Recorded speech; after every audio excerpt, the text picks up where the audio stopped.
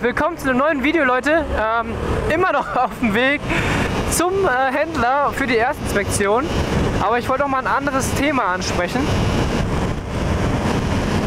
Und zwar wollte ich mal über das Thema sprechen, äh, was sollte man machen, bevor man seinen Führerschein äh, machen möchte, seinen Motorradführerschein. Äh, denn äh, die Anfrage habe ich bekommen von einigen Leuten jetzt bei Instagram, die haben nachgefragt, was ich so getan habe, bevor ich äh, meinen Führerschein äh, tja, begonnen habe oder mach, gemacht habe. Und ähm, das waren so einige Sachen und ich erzähle das jetzt auch ein bisschen frei Schnauze. Ich habe da jetzt keinen Plan für oder so, habe mir nichts vorbereitet. Äh, quatsch einfach mal drauf los, dachte ich mir. Und ich würde sagen, das Erste, was man macht, wenn man äh, einen Motorradführerschein machen möchte, ist sich richtig, richtig dick, geile Location für Fotos da vorne, sexy, Alter, ähm, richtig dick über Motorräder informieren. Also im Internet oder bei Freunden oder wie auch immer. Da, wo du wirklich einfach an Motorräder rankommst, einfach mal informieren, keine Ahnung, draufsetzen und äh, ein bisschen fühlen, ja. Und äh, mein erster Kontakt mit Motorrädern war tatsächlich, also natürlich schon bevor ich 16 war, aber eigentlich mit 16. Und zwar war das auf der Intermod. Äh, da war ich dann mal. Und äh, da durfte man nämlich eine Probefahrt machen. Äh, ohne Führerschein, ohne alles. Und äh, das habe ich auch getan. Und es war einfach wirklich mein allererster Motorradmoment und auch der geilste Motorradmoment. Äh, nein, nicht der geilste Motorradmoment, aber einer meiner geilsten Motorradmomente, einfach nur weil es das erste Mal war. Und da hat es mich schon echt so hart gecatcht, ja, und das war nicht mal, also es hat nicht mal so, die Strecke war nicht geil oder so, man durfte halt nur irgendwie so äh, auf so einem Platz kreuz und quer fahren und ähm, es war einfach nur wirklich das erste Mal auf dem Motorrad, das erste Mal dieses Bike fühlen und so das war wirklich der Moment, wo es mich gecatcht hat. Und äh, ohne Scheiß, das motiviert einen so heftig. Ich habe wirklich dann alles gegeben für den Motorradführerschein. Und vielleicht äh, solltet ihr das vor dem Motorradschein auch, äh, Motorradführerschein auch machen, um einfach sicher zu gehen, ob das das Richtige für euch ist. Irgendwie die Möglichkeit finden, einmal Motorrad zu fahren, ja, in einer sicheren Umgebung, äh, versichert wie auch immer und äh, einfach mal probieren, ja. Nicht, dass ihr dann irgendwie in der Fahrschule hängt und dann schon irgendwie 400, 500 Euro rausgegeben habt dafür und dann die erste Fahrstunde habt und euch denkt, das ist nichts für mich. Äh, vorher mal versuchen, einfach an ein Motorrad ranzukommen, äh, wo ihr vielleicht mal so ein Ründchen mitfahren könnt, vielleicht beim Kollegen oder so, der da kulant ist äh, oder einfach irgendwie ein Bike rumstehen hat, was eh mal umfallen darf oder so. Ähm, oder der euch einfach gut anleiten kann. Und da einfach mal wirklich nachfragen, Leute. Fragt einfach nach. Fragen kostet nichts und wenn er Nein sagt, ist nicht schlimm, Leute. Akzeptiert es einfach und sucht weiter. Ihr werdet die Möglichkeit schon irgendwie bekommen versucht das irgendwie auf Privatgelände äh, abgezäunt. Wie gesagt, Intermod war halt eine geile Möglichkeit, weil da durftest du halt echt einfach mal ein bisschen rumfahren. Da war ein Instructor, der dir das erklärt hat und so. Perfekt, also es war wirklich perfekt und da hat es nicht gecatcht.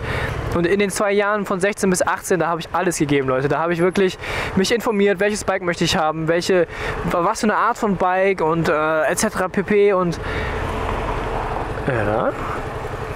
Und äh, wie kriege ich so schnell wie möglich den Führerschein. Ne? Und ich habe den Motorradführerschein einfach parallel zum äh, Autoführerschein gemacht, was ja auch deutlich günstiger war damals noch. Ich habe, glaube ich, 800 Euro äh, zusätzlich für den Motorradführerschein bezahlt. Und dann habe ich nämlich, ich habe am äh, 11. April Geburtstag, Leute, und ich habe am, äh, ich glaube, das ist der 26. April, habe ich dann meinen Führerschein bekommen, weil TÜV-Termin und so, ne? Am liebsten natürlich zu meinem Geburtstag. Da wollte ich unbedingt schon mit dem Motorrad losfahren. Äh, hat aber nicht geklappt.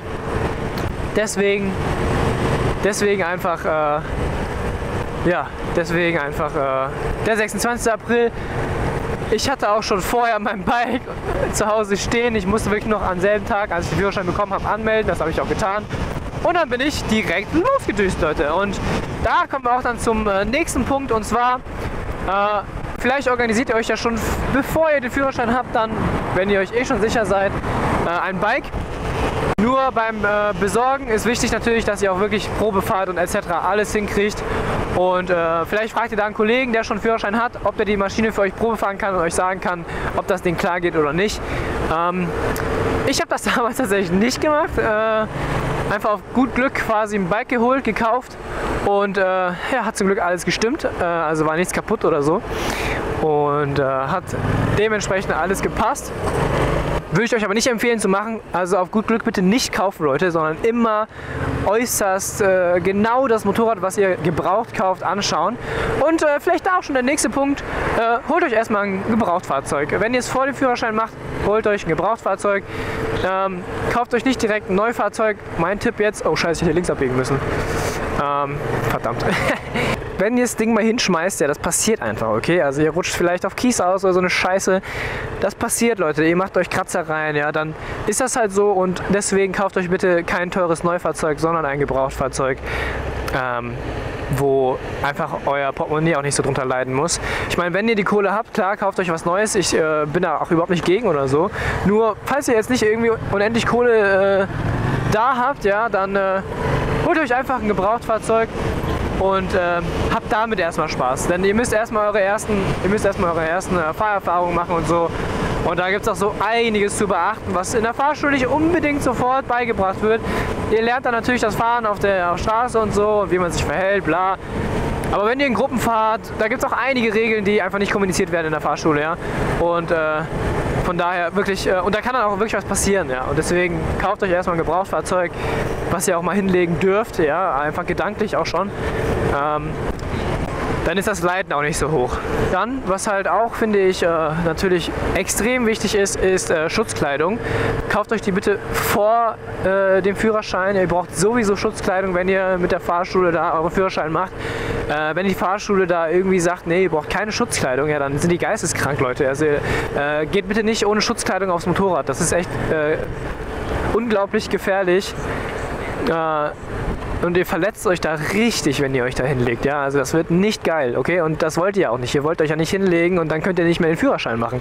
Ihr wollt euch, wenn ihr, weil das passiert ja gerade auch am Anfang am häufigsten, wenn ihr euch hinlegt, ja, auch wenn es nicht unbedingt so schlimm ist, ja, wenn man bei 30 km/h irgendwie ausrutscht und dann halt so, ich weiß nicht, 5 bis 10 Meter über den äh, Asphalt rutscht, dann willst du nicht äh, deine komplette Haut weggebrannt haben und dann äh, irgendwie drei, vier, fünf Monate da äh, an der, am Heilungsprozess liegen, sondern du willst da einfach Leder haben oder Textilschutz und dann äh, ja, passiert dir gar nichts und du kannst morgen direkt weitermachen mit der Fahrstunde. Ja? Da musst du deine Mentalität noch da vielleicht ein bisschen dran arbeiten, dass du keinen Schiss hast. Aber weißt du was? Dann kannst du direkt wieder losballern so. Und wenn du jetzt aber halt übelst die Verletzung schiebst, ne, dann hast du einfach nur verkackt. Und das ist halt nicht geil. Deswegen Thema Schutzkleidung, Leute, sollte ganz oben bei euch stehen. Ähm, genau. Was ist auch noch wichtig äh, für vor dem Führerschein? Ähm, ja, also informiert euch über Fahrzeuge.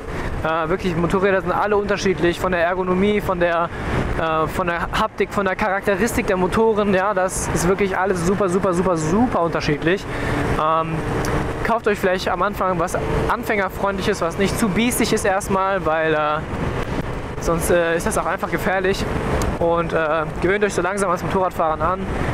Äh, wie gesagt, äh, wenn ihr die Chance habt, auf dem Zweirad schon mal zu sitzen, versucht das auf jeden Fall, weil da könnt ihr direkt herausfinden, ob das wirklich euer Ding ist oder ob es irgendwie nicht so geil ist für euch. Ich meine, es gibt halt alles äh, an unterschiedlichen Typen. Ja, ich fahre voll drauf ab, auf dem Motorrad zu fahren und ein anderer denkt sich so, nee, Alter, ich fahre lieber, keine Ahnung, BMX oder so, keine Ahnung, oder ein Quad oder ein äh, Trike oder was auch immer.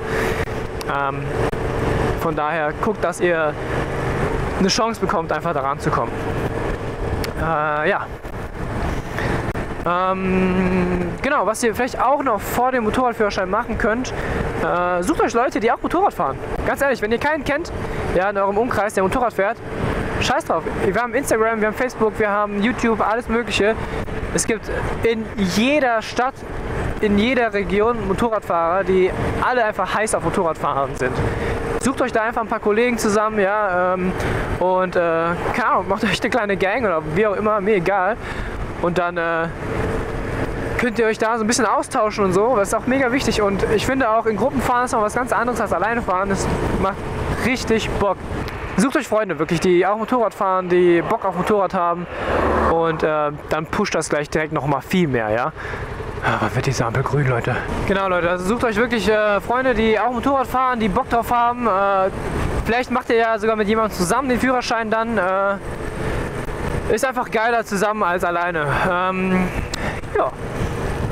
Ich, ich, weiß gar nicht, ob mir noch viel mehr dazu einfällt. Äh, für vor dem Führerschein. Also Schutzkleidung wichtig, Freunde auch geil. Äh, mal äh, Berührungspunkte mit dem Motorrad haben, ja.